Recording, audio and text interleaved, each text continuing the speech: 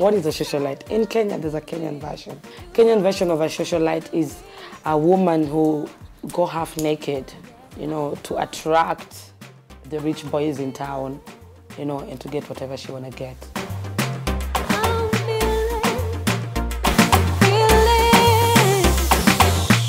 My AKA name that everyone knows on the media, the platform is Bridget Achieng. This was like $3,000. I bought this for my birthday. This one is Charles and Keith. This one is a Christian Dior. This is red bottom. This is bloody shoe.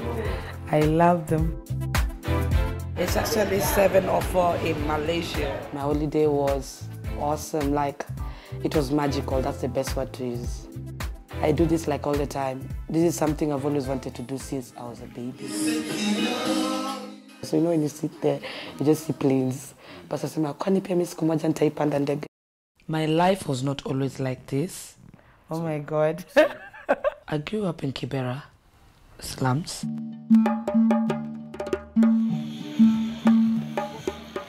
The ghetto is about survival for the fittest. Most of the people who went to Kibera, married in Kibera, died in Kibera, buried in Langata. Today I am dressed so simple. I'm just wearing my Gucci sandals and I'm wearing my Uncle Grazer's pants from Forever 21 because Forever 21 has nice big pants for girls. Uh, This is how I dress when I'm going to the hood. Like it's not complicated, just jeans and t-shirt. And I tie my belt and I'm good to go. The hood, there's no problem because the hood is where I come from.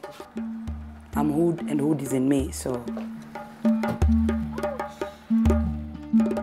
Rape is rampant in the ghetto. No one is coming out to talk about it, but I was molested when I was a kid.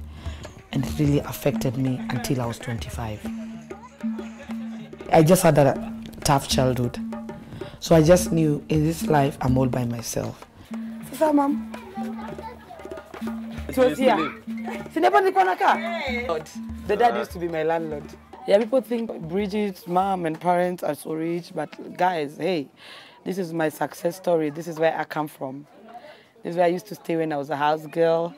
This is where I used to live and go to work and get that 1200 and get comfortable with it. I am from humble beginnings. You see, these are the jewelries I used to make. I used to even wear a shell on my head. I was a total African girl. One of my friends, we were just chilling, and then she was just telling me, Bridget, you have a nice body. You can be a model or a socialite. That time we had Huda, Vera, Corazon. And I was like, if I know I'm sexy, if if I'm gonna show off my boobies and some ass on a picture, I do this photo shoot and whatnot. The next thing I'm the big thing. I mean, it's nothing because that's how it is in Kenya. You know, when you're a socialite, you picture all over. People are seeing a sexy girl, like a sexy curvy girl. All these rich tycoons wanna have a taste of this fine, beautiful African woman. These are big businessmen, tycoons, uh, you name it. They'll send you a message and tell you, oh, on the DM. Or they can send their pimp who just text you and like, can I get your number? And I got those a lot when I became a socialite. So I got a good platform, Nairobi Diaries, and I said I will run away with it. With my body, my girls are big. You can see us. Yeah, you're So right. clearly, we need something bigger. I don't struggle to fit in. God has already blessed me. I work so hard. So why not get myself a car? And uh, I tried. I wouldn't say I didn't try. You are a desperate girl looking for money, and uh, you are getting a guy who want to give you like ten thousand dollar just to go visit him wherever in Dubai or wherever, and is willing to dash you ten thousand dollars. Ten thousand dollars. Some people have never seen ten thousand dollars in their life, man. You just need to look pretty and get ten thousand dollars and be on that uh, flight and go and do what you have to do. I always feel like it has to be something that is unique because it's crazy things you're asked to do. We're told to suck tools, to do what? Like it's crazy. You can like I don't want to go deep. I don't want to go into details about that because it's it's it freaks me out. I don't want to scare people. But the young girls need to know there is nothing for nothing. You want a million bucks, you will do something that is worth a million bucks.